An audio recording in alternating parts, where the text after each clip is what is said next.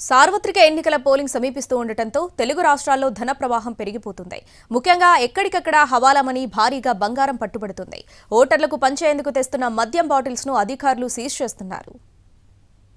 Money కట్టలు తెంచుకుంటోంది. వివిధ మార్గాల ద్వారా పార్టీలు నేతలు హవాలా మనీ ప్రవాహాన్ని కొనసాగిస్తున్నారు. ముందస్తుగా అధికారులు చెక్ పోస్టులు పెట్టి తనిఖీలు నిర్వహిస్తూ ఉండడంతో ఎక్కడికక్కడ భారీగా డబ్బు బంగారం వెండి లిక్కర్ సీసాలు పట్టుబడుతున్నాయి. పలువురిని అదుపులోకి తీసుకుంటున్న అధికారులు అరెస్టులు చేస్తున్నారు. శంషాబాద్ ఎయిర్పోర్టు దగ్గర భారీగా బంగారం వెండిని అధికారులు పట్టుకున్నారు. ముంబై నుంచి తెస్తుండగా ఎన్నికల స్క్వాడ్ ఆర్జీఐఏ అధికారులు దీన్ని సీజ్ చేశారు. ఒమినీ కారులో తరలిస్తుండగా పట్టేశారు. ముప్పై ఐదు కిలోలకు పైగా బంగారం నలభై కిలోలకు పైగా వెండిని సీజ్ చేశారు. ఈ ఘటనలో ఏడుగురిని అదుపులోకి తీసుకున్న పోలీసులు విచారణ జరుపుతున్నారు.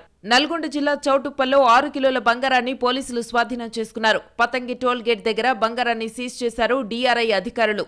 గోవా నుంచి విజయవాడకు తరలిస్తున్న మద్యం లోడును అధికారులు పట్టుకున్నారు. రాజస్థాన్కు చెందిన లారీని గాజులపల్లె చెక్పోస్ట్ దగ్గర పట్టుకున్నారు మహానంది పోలీసులు. ఇందులో వెయ్యికి పైగా చీప్ లిక్కర్ బాటిల్స్ ఉన్నట్టు గుర్తించారు. ఎలాంటి ఆధారాలు లేకుండా తరలిస్తున్న నూట మూడు ఏసీలు రిఫ్రిజిరేటర్లను స్వాధీనం చేసుకున్నారు నార్కెట్పల్లి పోలీసులు. హైదరాబాద్ నుంచి నల్గొండకు తరలిస్తున్నట్టు గుర్తించారు.